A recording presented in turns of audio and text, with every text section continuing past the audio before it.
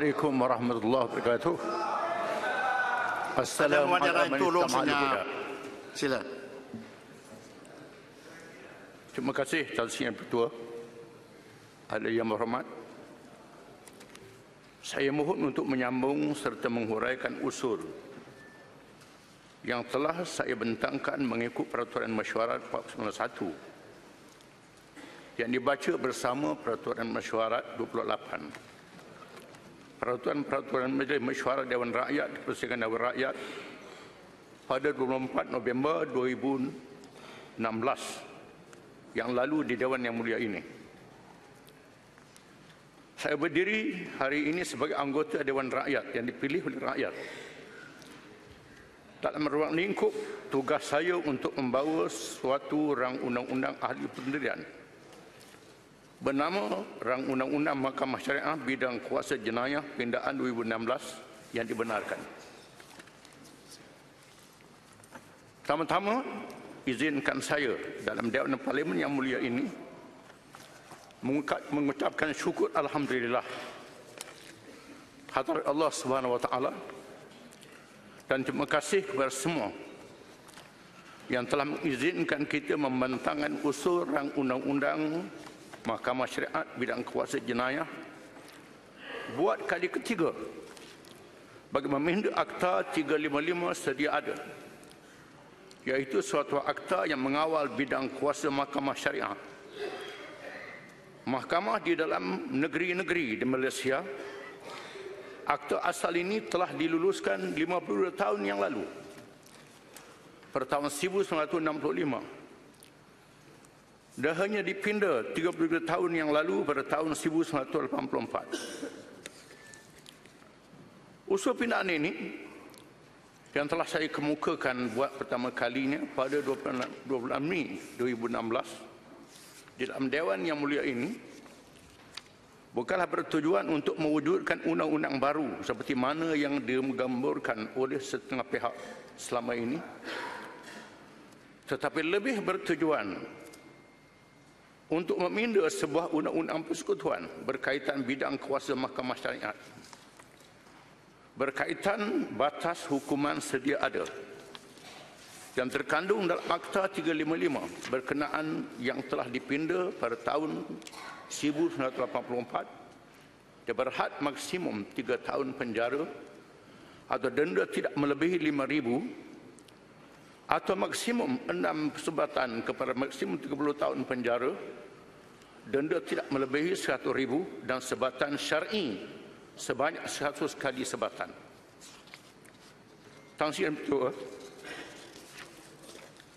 Kita ingin menegaskan bahawa usul pindaan rang undang-undang Mahkamah Syariat bidang kuasa jenayah ini hanya terpakai kepada orang-orang Islam di dalam negara ini dan tidak terpakai kepada golongan bukan Islam sebagaimana dalam akta asalnya dan sejarah sudah membuktikan bahawa sejak Akta 355 ini diluluskan 52 tahun yang lalu belum pernah ada seorang bukan Islam yang didakwa kesalahannya di bawah mana-mana mahkamah syariat negeri-negeri.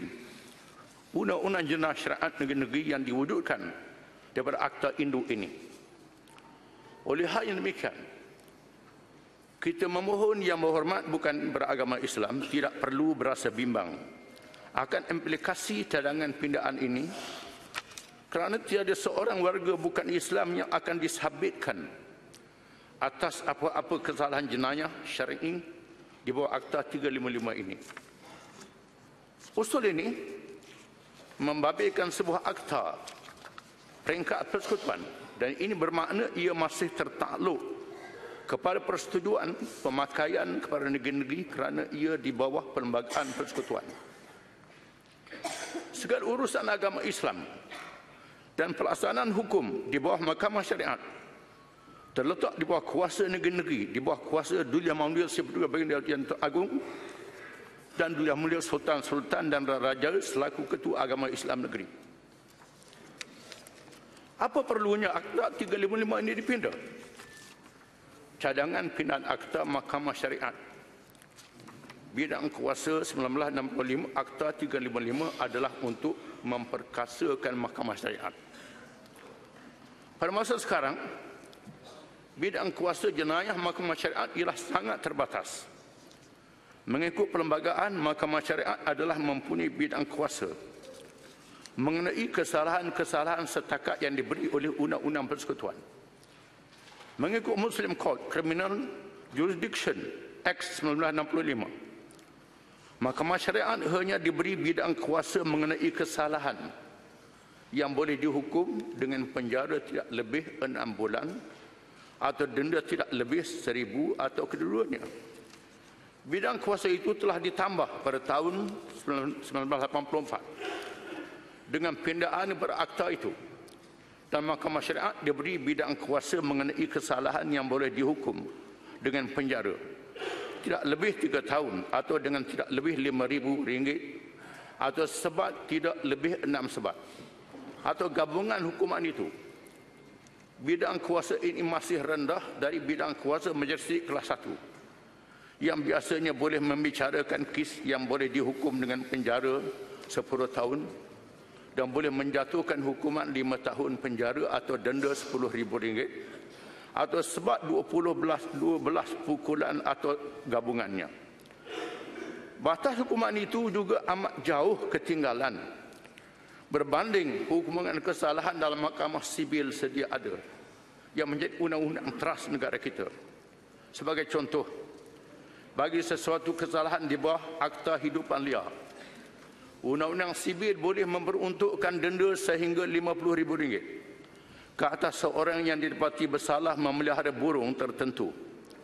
Sedangkan kesalahan syariah seperti mengajar ajaran sesat yang berjaya menyelewengkan akidah atau memurtadkan sebegitu ramai pengikutnya yang beragama Islam di negara ini jika disabitkan kesalahannya hanya boleh didenda tidak lebih daripada RM5,000 apakah demikian rendahnya nilai harga sebuah akidah muslim? Tergamakah kita membiarkan agama Allah? Dimartabatkan sedemikian rendah di negara kita yang memperuntukkan agama Islam selaku agama negara di bawah perkara 31 perlembagaan persekutuan. Begitu juga seorang suami muslim yang tidak bertanggungjawab terhadap isteri dan anak-anaknya meninggalkan mereka bertahun-tahun lamanya berfoya-foya di luar tanpa memberi nafkah kata isteri dan anak-anaknya. Apabila didakwa oleh isteri dan disabitkan kesalahan di mahkamah syariat akan mudah membayar denda tidak melebihi RM5,000 berbanding puluhan ribu atau mungkin mencecah ratusan ribu ringgit berbanding kesalahan yang hampir sama keadaannya di mahkamah sibil di manakah komunitas Islam akan memperolehi keadilan dan pembelaan sewajarnya dalam sebuah negara yang diterbit oleh orang-orang Islam dalam keadaan mereka diunyanyai begitu rupa kecuali jika batas hukuman yang lebih tegah dikenakan di, di bawah Akta 355 sedia ada. Sesungguhnya apa yang yang cadangkan hanyalah meningkatkan hukuman maksimum kepada para hukuman yang hampir atau sepadan dengan hukuman syarak Islam yang memang sudah termaktub di dalam semua-semua hukum di, di bawah panduan Al-Quran, hadis Nabi Muhammad SAW, ijma' dan qiyas para ulama. Kita sih maklum yang dipertua. Undang-undang sibir yang diperbuat di bawah kuasa perlembagaan negara yang diwarisi dari Suruhanjaya Red, warisan British yang terpakai sehingga ke hari ini menjadi undang-undang rasmi di negara di mana perlembagaan persekutuan adalah undang-undang tertinggi Namun kita ingin mengingatkan semua ahli dewan yang mulia ini juga bahawa di bawah perkara 31 perlembagaan persekutuan yang sama juga Islam adalah agama bagi persekutuan tetapi agama-agama lain boleh diamalkan dengan aman dan damai di mana-mana bahagian persekutuan. Dalam hal ini tidakkah ahli-ahli yang berhormat terfikir bagaimana rakyat beragama Islam di dalam negara sebenarnya seakan-akan dilarang tidak dapat mengamalkan agamanya sendiri dengan sepenuhnya. Dengan pembelaan yang dijanjikan oleh Islam dalam keadaan yang mereka yang bukan Islam telah mengganggu hak orang Islam mengamalkan ajaran Islam sepenuhnya. Termasuklah syariat hukuman yang terkandung di dalamnya Kita juga mendengar kuat suara membantah pindahan Akta 355 ini dengan alasan bahawa pindaan ini bertentangan dengan perlembagaan persekutuan. Tuan Pertua, kita ingin bertanya kepada semua yang berhormat dalam Dewan yang mulia ini. Bagaimana mungkin cadangan pindaan batas hukuman ditingkatkan ini bertentangan dengan perlembagaan negara? Sedangkan tiada apa-apa cadangan konsep kandungan Akta 355 yang asal jika tiada perubahan ini dalam kandungan pindaan kesalahan jenayah syariah yang baru sudah tentu mahkamah di negeri-negeri akan mengekalkan semua isi dan bentuk hukuman yang sedia ada ini bermakna tiada peruntukan baru dikuatkuasakan yang mungkin yang memungkinkan peruntukan tambahan diwujudkan dan bertentangan dengan perlembagaan persekutuan. Kita juga ingin mengingatkan bahawa jika usul pindaan 355 ini diterima dan diluluskan, semua ahli-ahli Dewan Undangan-Undangan Negeri mempunyai waktu dan kesempatan seluas-luasnya untuk membahaskan pemakaian batas-batas hukum baru yang diluluskan itu untuk setiap kesalahan jenayah syariah di negeri sedia ada. Di sinilah sepatutnya ahli-ahli DUN nanti menggunakan kebijaksanaan masing-masing sewaktu wakil lantikan negeri-negeri membahaskan isi dan bentuk hukuman kesalahan syariah untuk dilaksanakan oleh mahkamah-mahkamah syariat. Oleh yang demikian, janganlah kedengaran lagi bahawa cadangan pindah kata 355 ini merupakan merupakan pintu belakang ke arah pelaksanaan hukum hudud di Malaysia. Dan untuk melaksanakan undang-undang menyamai hukum hudud dalam syariah di Malaysia, sekurang-kurangnya tiga pindahan kepada beberapa bahagian dalam perlembagaan perlu dilakukan. Dan sudah tentulah ia perkara yang sukar untuk dilakukan. Ini adalah kerana penggunaan 355 hanya terhad berbidang kuasa mahkamah syariat yang merujuk pada kuasa yang disenaraikan dalam putiran satu senarai negeri jadual ke-9 Perlembagaan Persekutuan. Tuan Pertua. Pindahan Akta 355 ini tidak memungkinkan undang-undang jenayah seperti mencuri, merampak, merogol, bunuh dan menyebabkan kecederaan kesalahan yang wujud dalam kanun keseksaan atau penal code.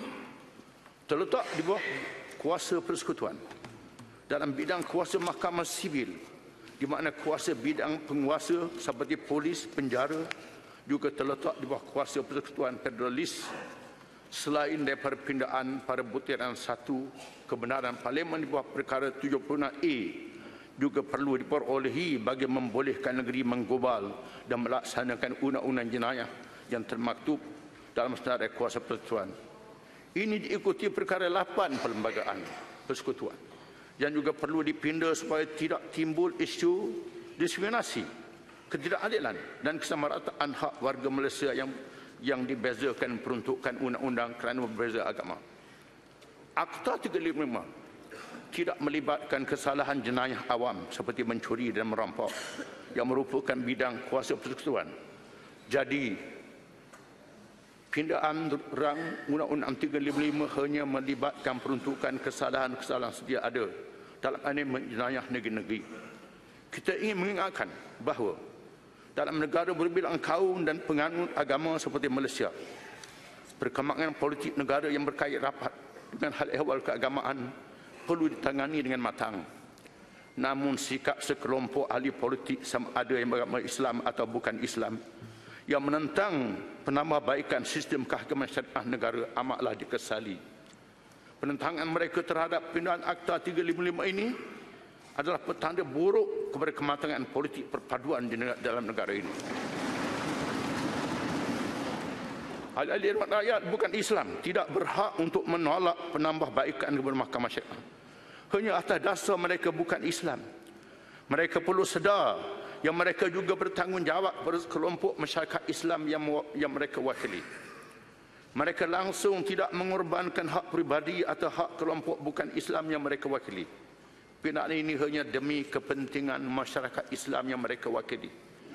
Jika kepentingan sedemikian yang begitu didambakan oleh masyarakat Islam tidak dapat ditunaikan, apakah yang boleh diharapkan dari mereka jika hak dan kepentingan umat Islam itu bercanggah dengan kepentingan pribadi mereka?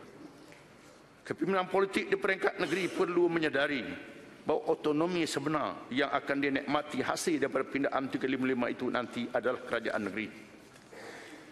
Hanya Dewan Negeri, DUN, dengan perkenaan Ketua Agama Negeri, iaitu Dwi Ahmad Sultan dan Pimpinan Tua Agung bagi belah persekutuan. Sultan-sultan yang berkuasa untuk memutuskan sama ada untuk menunaikan kadar hukuman yang beruntukkan dalam elemen syariah negeri Akta 355 yang berada di bawah kuasa parlimen hanya berfungsi menetapkan hukuman maksimum yang boleh digubal oleh dewan-dewan undangan negeri. Kita ingin mengulangi bahawa bidang kuasa mahkamah syariat terhad setakat kesalahan-kesalahan yang terkandung dalam butiran satu senarai negeri. Perlembagaan persekutuan, malah mahkamah syariat, tiada bidang kuasa ke atas bukan Islam hatta jika berlaku persetubuhan antara Islam dan bukan Islam. Hanya yang Islam sahaja yang boleh dituduh di mahkamah syariat. Sebaliknya jika seorang Islam merogol bukan Islam. Siasatan dan pendakwaan bagi itu hanya boleh dilakukan oleh polis di bawah kesalahan konun kesiasaan. Orang Undang-Undang 355 bertujuan memperkenalkan prinsip, konsep dan sistem kehakiman Islam juga memperkenalkan konsep dan cara hukuman Islam yang berbeza dengan yang lain kerana tujuannya mendidik penjenayah dan masyarakat bukannya menyaksa.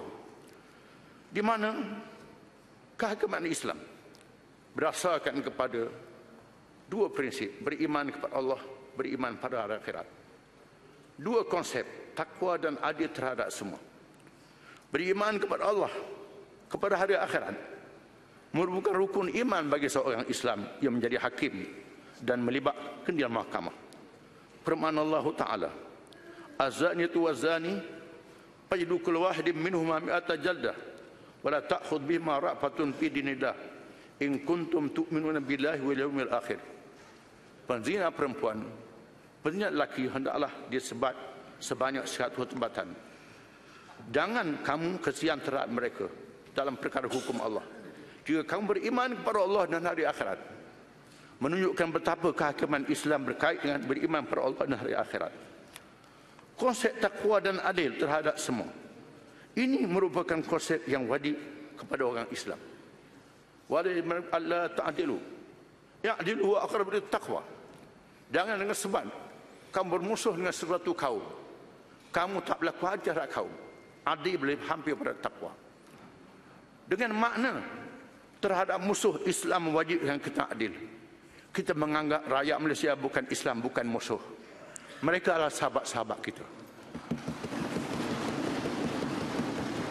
Kalau dengan musuh, Islam wajibkan orang Islam adil dan ini sifat takwa. Apalagi rakyat warga negara yang dianggap sebagai saudara anggota masyarakat. Ini perlu menghilangkan kebimbangan. Yang kedua, hukuman dera dalam Islam adalah hukuman mendidik bukan menyeksa. Sebatan dalam Islam berbeza dengan sebatan dalam undang-undang sibil. Sebatan dalam Islam disebut oleh kitab-kitab fiqh semua mazhab. Mesti dengan alat sebat yang sederhana, yang tidak berat dan tidak ringan. Tidak boleh mengangkat lebih tinggi daripada kepala. Tidak boleh mengoyokkan kulit. Tidak boleh mencederakan. Dengan tujuan untuk memalukan bukan untuk menyesa ini sebatan dalam Islam. Bunyinya 100 bunyinya 20 tetapi berbeza dengan sebatan undang-undang sibil bahkan disebut dalam hadis Nabi SAW apabila dimaklumkan orang yang melakukan kesalahan 100 sebab itu seorang yang kurus kalau dipukul terkena tulangnya Lalu Nabi menyebut gunakan seratus batang ranting dan pukul satu kali sahaja. Ini sebatan Islam yang perlu diperkenalkan kepada umum yang berbeza dengan hukuman sebat mengikut hukum sibil yang ada pada hari ini. Kesimpulan terlalu amat banyak perlindungan kepada masyarakat bukan Islam yang telah ditetapkan oleh Perlembagaan Persekutuan dan hukum Islam daripada Nas dan perlembagaan persekutuan dan hukum Islam di benak Quran dan hadis yang disebut perlindungan pada orang bukan Islam. Permohonan Allah Taala in ja'uka fakum bainahum arid anhum. Jika sekiranya surah Al-Maidah ayat 42, lihat terjemahan. Jika sekiranya orang bukan Islam datang berkamu, kamu boleh bawa mereka ke mahkamah Islam dan kamu boleh biarkan mereka sendiri dengan mahkamah mereka. Ini mengikut pemilihan masyarakat bukan Islam itu sendiri. Ini bukan perlembagaan persekutuan. Termasuk Quran sendiri menyatakan demikian. Hanya ahli politik yang kemaruk para undi mereka sahaja yang hampir menjadi hilang kewarasan. Mencetuskan kebimbangan di kalangan masyarakat bukan Islam untuk menolak pindahan Akta 355 ini. Kita ingin mengingatkan bukan Islam. Jangan permain-mainkan agama Islam yang dilindungi oleh perlembagaan persekutuan. Di mana Duli Amat Mulia Sibiru Mandian Tuan Agung telah mengangkat sumpah jawatan akan memelihara agama Islam selaku agama negara. Mendaulatkan Islam sebagai agama negara menjadi cita-cita setiap warga negara Malaysia dan PAS terus akan membawa ubu mendaulatkan Islam di negara ini dalam kerangka perlembagaan persekutuan sedia ada. Maka dengan ini, Marang mohon mengusulkan supaya undang-undang Mahkamah Syariah bidang kuasa jenayah Akta 356 ini diterima untuk dibahas sepenuhnya oleh Ahli Yang Berhormat Yang Mulia. Sekian terima kasih. Wassalamualaikum warahmatullahi wabarakatuh.